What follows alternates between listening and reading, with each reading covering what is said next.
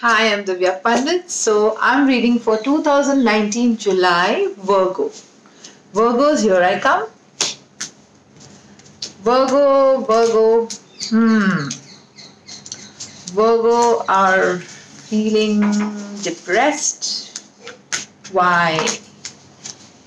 Virgos, you are going to feel very, very low also because of the moon energy that is coming in the beginning of July, which is going to be a little heavy. Then it start July starting with the new moon, and uh, I think the first week of July is going to be very heavy for you. You're going to feel very low, depressed, overly emotional, and also I feel there are a lot of hidden secrets which are going to disturb you a lot. And uh, work wise, where you have thought things are going, but it did not materialize the way you thought it would. Okay the first week is going to be full of all these things but i feel the second third and fourth week are going to be beautiful for you. Especially the second week of july is going to turn out to be actually something that you always wanted. Okay the position that you wanted and uh, the emotional happiness also at work that you wanted is going to turn out very well. The third and the fourth week, rather, I will speak about the fourth week. The fourth week is going to turn out absolutely amazing, where you are going to get the place and the type of work that you wanted. So, Virgos, it is going to start as if there's nothing left. I am done. I am stressed. I am crying. There are so many hidden secrets of the past is going to haunt you. You're not going to even feel well health wise but virgos do not get uh, demoralized or demotivated because the third the second third and fourth week are actually giving you what you have asked for.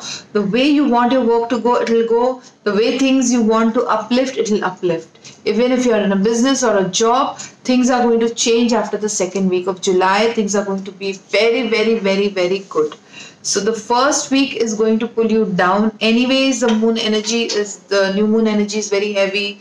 There is maybe not our part of the world, but there is an eclipse. So things are changing. Like like I said, the wheel of fortune is changing, and there is going to be a lot of change for a lot of zodiac signs. So you there will be some ups and downs in July.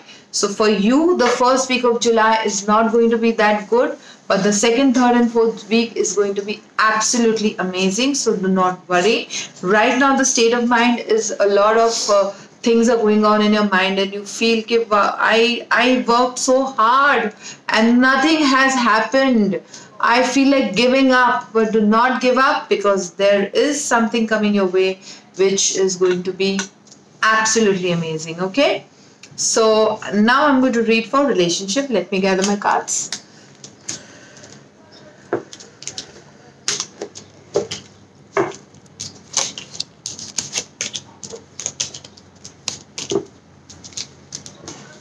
this time I'm not doing you know magical fairy cards because there is because of lack of time I really do not have a lot of time in my hand because I have to do everything on my own it's one man show and I have to manage my clients, my work, my everything, my house, my videos. So I'm making quick videos this time. I'm making okay Virgos 2019 July Virgos and wow even in your relationship I feel that you have to choose your battle. This is the first come that that came and I feel that you don't even know in your relationship what you are fighting for. So please be focused where you really need to work on your root chakra. Here this is you're feeling spaced out. Your money is draining. Your relationship is not proper right? It is also because you have stopped receiving and giving. When you give you receive. Remember that. And there is some kind of results you're waiting. Maybe in, even in your relationship you're waiting for someone to say yes to you or come back to you. Or maybe you are also waiting that that relationship might improve. Yes it will improve. Only if you open up.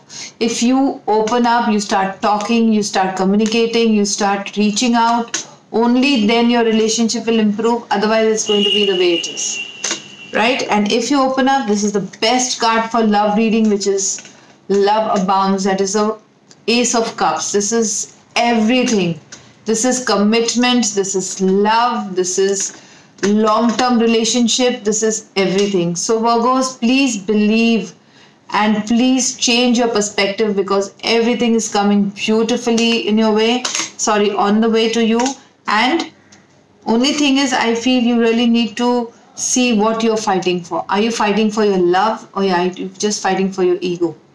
Right? You need to really clear your base chakra also. So these are the points you should remember. Right? So that's all. This is a beautiful love reading for um, Virgos, and that's all for today. And see you next time. And do like my page, White Light Healing Center on Facebook. Subscribe to this channel and email me only for personal paid appointments. That's all for today. Goodbye. God bless.